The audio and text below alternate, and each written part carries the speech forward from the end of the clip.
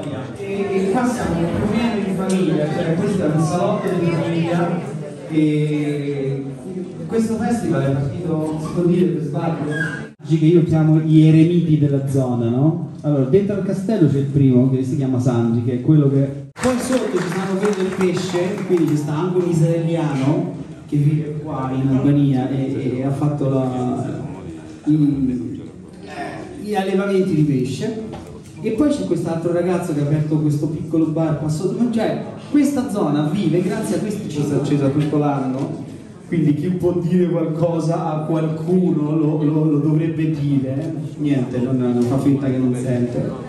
Può dire pronto? Dicevo, chi può dire qualcosa a qualcuno per la luce, per il posto, per la strada? Personaggi enormi, eh, abbiamo aperto il festival con Zimischeta che l'abbiamo prelevato dall'arena di Verona per farlo vedere qui. E poi dopodiché, insomma, Elina Duni, durante la guerra c'erano gli italiani qua dentro, no? poi gli albanesi li hanno protetti prima che partissero, insomma c'è tanta storia qua dentro che parte dagli egiziani che l'hanno mio fratello, ma non di sangue, di scelta, Michael Rodi. Puoi venire un attimo qua? Allora, Michael Rodi suona con me il pianoforte esattamente da do- 11, do- tre- ve- do- 12 anni. 14, 14 anni che suoniamo insieme. Voi non lo vedete, ma noi abbiamo un filo invisibile. Ecco, do- dopo questa sigla qua ci sentiamo tutti a casa, no? Che sono italiani l'hanno capito esattamente dove siamo. Bene, e Michael è nato in Sudafrica, a Johannesburg, da genitori calabresi, in albanese. quindi poi- Eh, lui dice, non ho capito niente. Ah, tutti switcha. Chissà perché in Albania tutti parlano ancora italiano e questa è colpa tua, sempre colpa tua. E, e va bene, non basta queste chiacchiere, siamo nella terza edizione e, e, e mi fai sentire una cosa? Fammi sentire una cosa.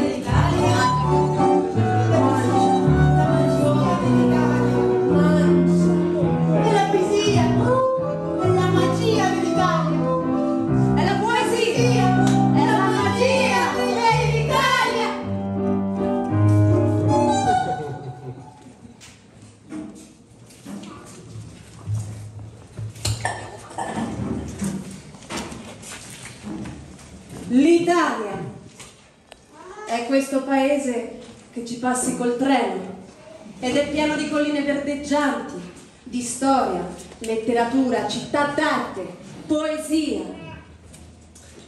Dove però a noi, ecco, in sostanza ci piace mangiare. Che per misteriose ragioni che forse si legano ai ricordi della guerra, di questa guerra che a noi ci ha veramente rovinato, noi siamo questo paese a cui piace mangiare, questo paese vitale e virile che quando c'è da mangiare mangia, senza troppe storie, questo paese che semplicemente mangia più di tutti gli altri paesi del pianeta, che nessun altro paese al mondo mangia più di noi, che noi siamo questo paese che mangia senza se e senza ma, che noi proprio dopo la guerra, forse così per strammatizzare, ci siamo seduti e messi a mangiare. Ehi, oh, Mangia, la guerra è finita. Grazie. Ma che grazie, mangia.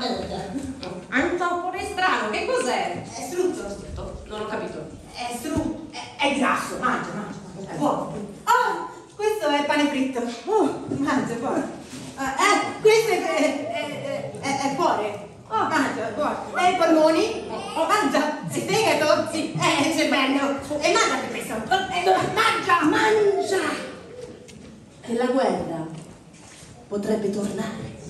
Che pure moltissimi altri paesi hanno vissuto la realtà della guerra, eppure questa incredibile non era mai avvenuta a nessuno, mai si è saputo di un paese che per decenni, dopo la guerra, avesse ancora questa fame incredibile che abbiamo noi, che è il massimo per noi. E quando tu cena ti senti proprio bene, cioè lì proprio raggiungi l'apice della felicità. Sei mangiato e ti senti male, vuol dire proprio che la guerra è lontana. Piace che questa guerra sia proprio lontana, che noi in questo senso la guerra, ecco, si può dire che la scacciamo a toppe di pasta al forno. Ecco, noi alla guerra facciamo inconsciamente delle macumbe, con i risotti, con i porcini, sì, vi facciamo queste macumbe per la guerra proprio lontanissima. Perché questo è infatti per noi lo svantaggio della guerra, non tanto la morte, non tanto le bombe che devastano ponti e palazzi, quando c'è la guerra, il problema vero che si mangia poco, che si mangia male. Le patate crude ti devi mangiare, cioè che a noi le patate crude proprio ci fanno schifo. Semmai ci piacciono al forno. Con il rosmarino, brava! Ma il punto è che ci piacciono come contorno, cioè devono stare accanto a qualcosa, eh, come dire, che deve essere... Abbasso la guerra sostanzioso. Quindi ecco, noi semmai più che scacciarla la guerra, la riproduciamo a tavola, ingozzandoci fino per così dire all'abbottamento. In queste circostanze noi siamo felici se proprio ci viene da vomitare. Che hai? Stai male? No, sono felice. Ma sei giallo? Appunto. E persino ai funerali noi ci incontriamo che con la scusa che la famiglia del defunto no? non deve mettersi i fornelli, tutti i vicini di casa portano queste tielle enormi, cioè se vuoi procurare dolore a una signora italiana, allora non le riportare tiella. Che in Italia non si sa perché c'è questo attaccamento alle tielle che sfiora l'inverosimile. Perché quella che sta bene di sorridere, invece poi si sveglia, la realtà è diversa, la tiella è sparita, la vita è finita, è una cosa terribile, no? Che logra i nervi e i rapporti umani. Ed è un peccato, no? Perché la tela costa 5 euro. E anche questa religione che c'è in Italia, che da noi devo dire ha attecchito parecchio, perché ci sono i seri serissimi, ci mettiamo a tavola e finiamo tutto quello che c'è da finire e davvero può scendere anche Gesù Cristo in persona, ma noi non facciamo una piega. Siedi e mangi con noi, eh, con tutto il rispetto che io riconosco che sei Gesù Cristo, ma come vedi io sto cenando. E così noi veniamo traghettati dall'antipasto al dolce con questo speciale stato d'anima di indifferenza mortale per il resto del mondo. Oh, viva dei drammi!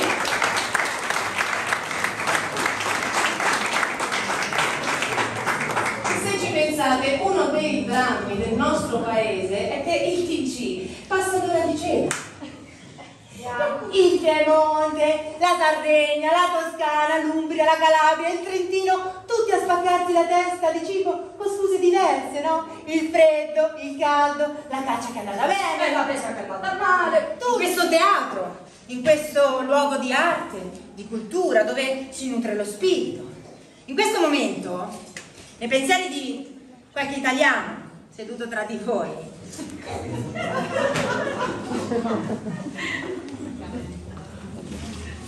nei suoi pensieri. Sottilmente si insinua un altro pensiero. Ma quando si mangia? Ma dove si mangia? Eh. Qualcuno ha prenotato, qualcuno ha prenotato. Te, te già mangiato, non ti fregano, eh? Altri, pochi, pochissimi, pochissimi, non pensano a questo. Semplicemente stanno ascoltano. Sono persone equilibrate, ragionevoli, persone a cui basta non menare serie. Ecco, noi ci affidiamo a voi, a chi si accontenta di una mela alle sette, al vostro equilibrio, a questa vostra straordinaria capacità di considerare il cibo. Dovrete aprire gli occhi a un paese che ha fatto del cibo la sua luminosa e potente bandiera. Grazie. Poi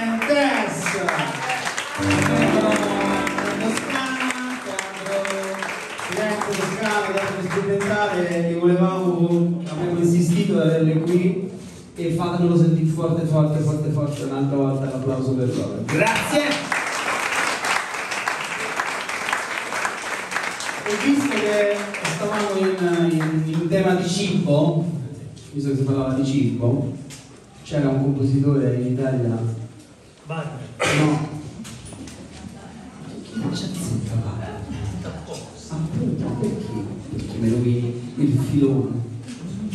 Allora, allora, c'era uno che si chiamava Gioacchino Mussini, lo pensava solo a mangiare. Ma non lo guardano tutti. Raga, mangiava da mattina a sera, oppure era grosso grosso e mangiava tanto, però scriveva dei capolavori e quando ha scritto questo pezzo che stavamo per suonare adesso ha detto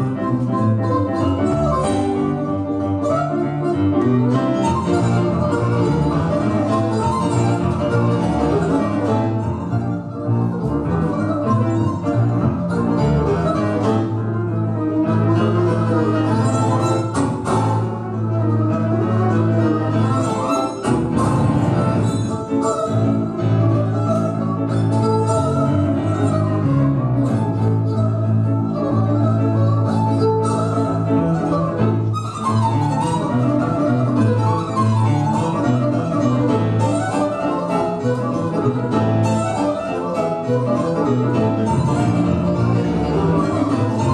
you.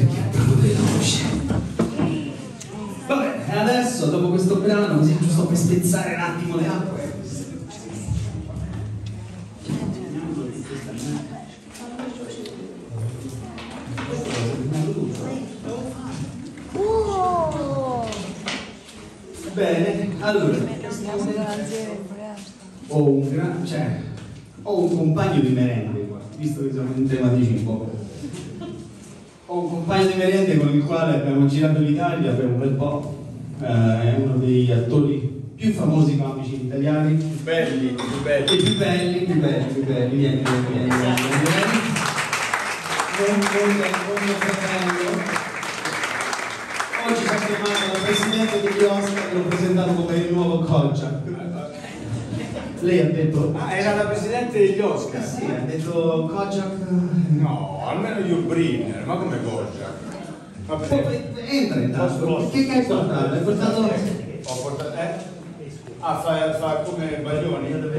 Si toglie Che fa Baglioni, di mezzo, scusa? eh? No, si toglie di mezzo. Baglioni si toglie di mezzo. Dai... No, eh, deve essere, io ho portato una cosa, grazie, grazie. Buonasera, buonasera a tutti.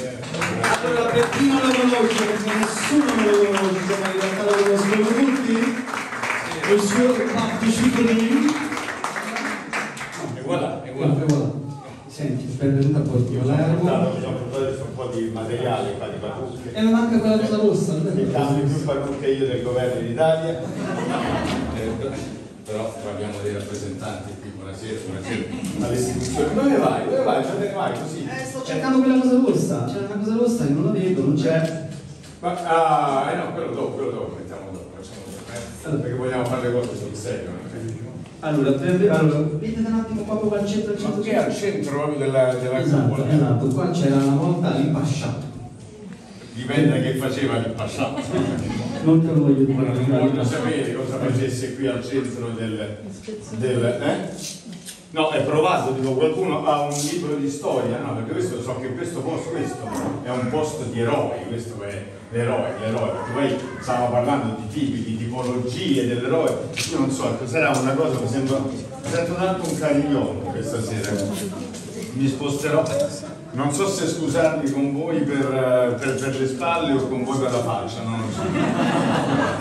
Se però piano piano giro. e, e vediamo quello che si riesce a fare. Dicevo, pensavo, questo posto un posto che ha visto degli eroi, come eroe è stato anche il mio fratellino Olen a fare questo, questo festival qui, un posto, insomma, Castello, un posto che, che tra l'altro parte con tanta storia. Allora pensate proprio agli eroi, gli eroi storici. Io volevo iniziare proprio a fare una chiacchierata sugli eroi. Gli eroi, gli eroi la, la tipologia dell'eroe, proprio parlando di tipi di linguaggio del corpo, perché il corpo se ha un linguaggio, tutti i gesti sono le, le- le sue parole e proprio si muove, quindi l'eroe lo riconoscete, perché gli eroi sono tutti alti, giovani e belli, e l'eroe, gli eroi, sugli eroi sono stati versati fiumi di inchiostro, ma addirittura mari di inchiostro. E su questi mari tanti eroi, specie nell'era antica, ci hanno navigato, hanno compiuto delle imprese come eroi leggendari, come Ulisse, Ulisse, il leggendario Ulisse, Ulisse, l'eroe astuto Ulisse, Ulisse che sapete tutti quanti,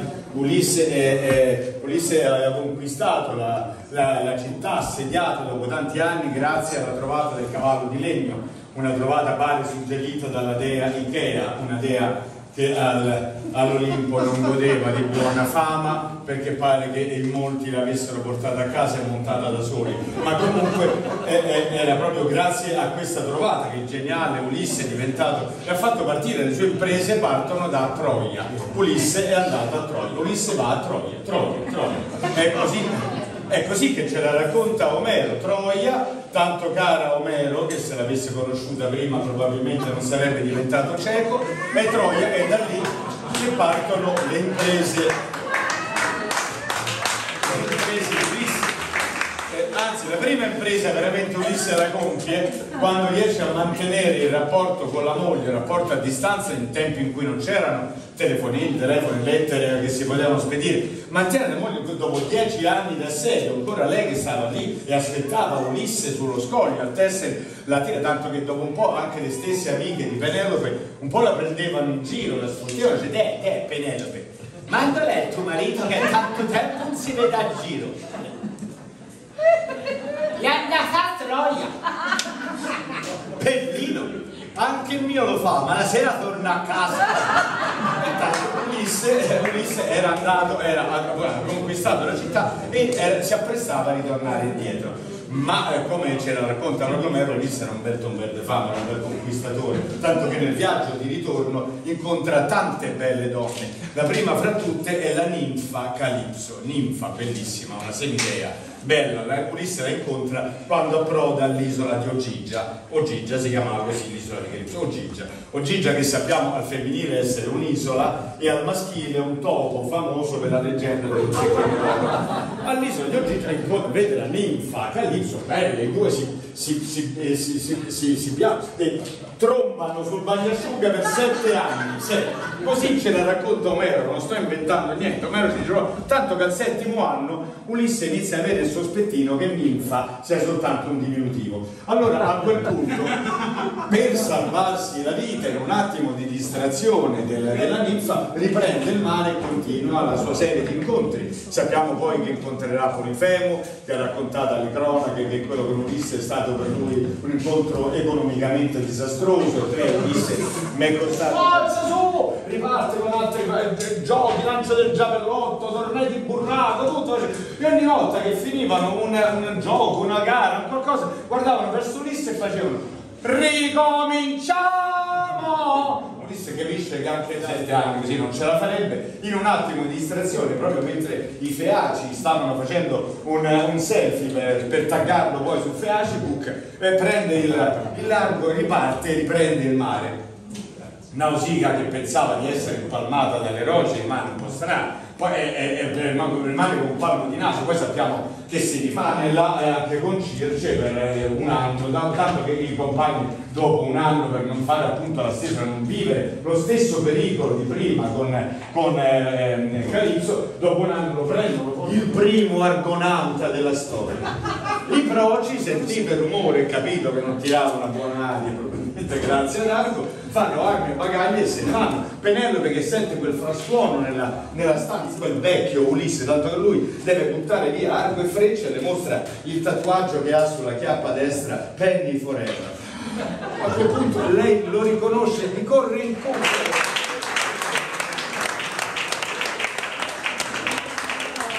Ancora voglia di fare la Z con la spada, facile, è facile, sono eroi, sono supereroi, hanno, hanno dei poteri, hanno dei superpoteri.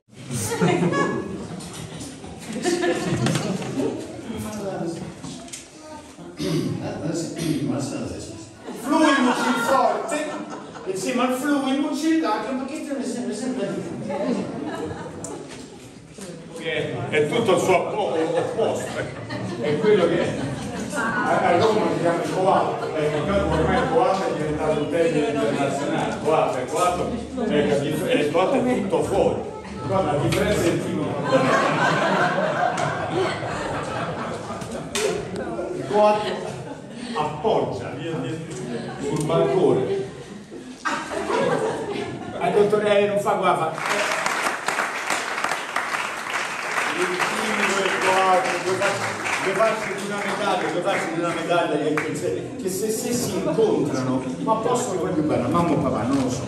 Babbo Natale la Befana, non lo so. Bianco o nero, ma tutto a me fai le domande. È il dubbio, essere o non essere. Eh, pronti? Poi mettere. Questa era l'effetto Va nella camera della mia bella e dirle che ha un bel mettersi sul viso un dito di belletto. A questo aspetto deve ridursi anche lui, fatalmente. Che se la prende a ridere dunque, se ci riesce.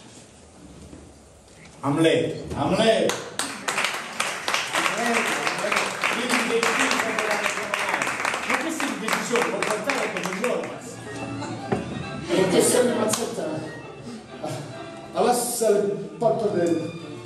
lo sguardo e spesso segue un piccolo movimento di labbra che si traduce in patate la piazza.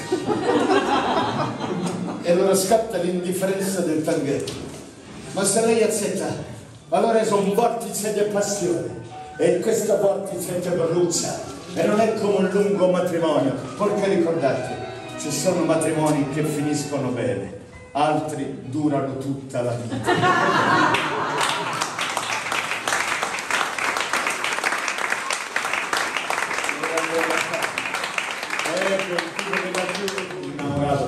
L'innamorato è bello, l'innamorato sente le farfalle nello stomaco, eppure gli aveva detto a mamma che bastava una porzione sola, ma l'innamorato è bello perché vive in uno stato di grazia, ma che può essere anche di Antonella, di Maria, di Giovanna, l'innamorato, l'innamorato, l'innamorato addirittura diventa poetico.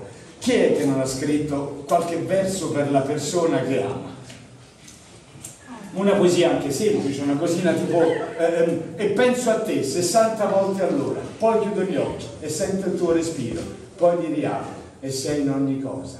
Ecco, insomma, una cosetta, oppure che so, una, una poesia più, più importante, ecco, insomma, qualcosa che evochi anche un, un viaggio, un ricordo. Entro nella camera buia ascolto il tuo respiro. È bello infilarsi nel letto ed abbracciarti, forte.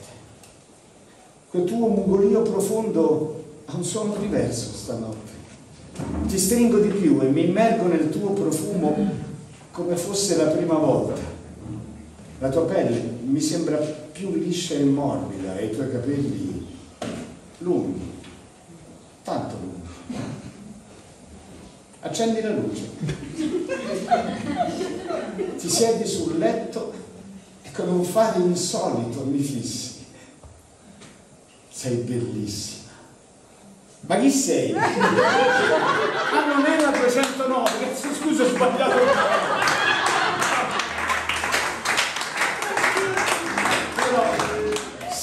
Di amore, e in questo caso è di, di, di amore, perché l'amore, l'amore, è bello, l'amore è bello in qualunque modo, l'amore è, be è bello, è bello fra uomo e donna, donna e donna, uomo e uomo, cavallo e cavalletta, è bello, è bello, l'amore è bello, è bello sempre. Ma quando di amore, in questo caso, di amore fra uomini e donne si mettono a parlare mostri sacri come Giorgio Gaber, escono dei piccoli capolavori.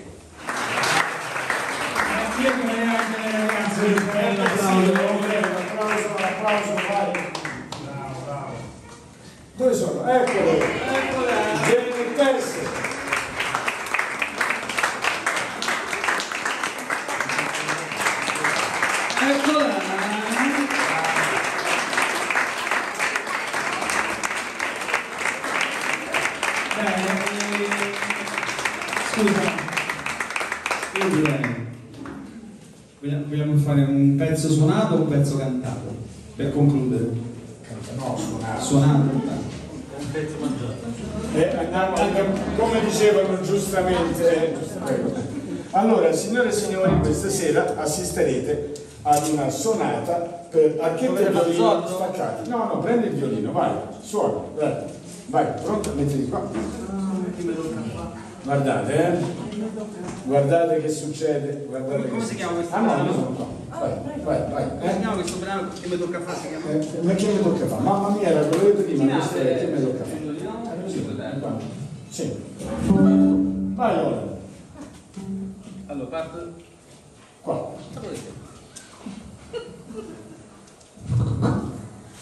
Com'è? No, è abbastanza... Mm, Non è abbastanza dritto. Eh, me si è fatta anche la cintura. Magari dopo cena, eh, adesso non- Tienilo bene, però.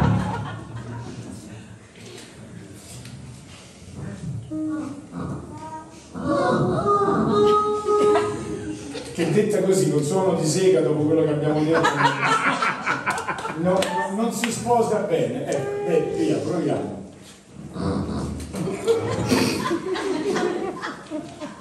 Questo? Eh, questo è sempre dopo cena. Eh, ho mangiato pesante. Vabbè, vado. Mi sto dando delle arie, vai, mi dispiace per Vai.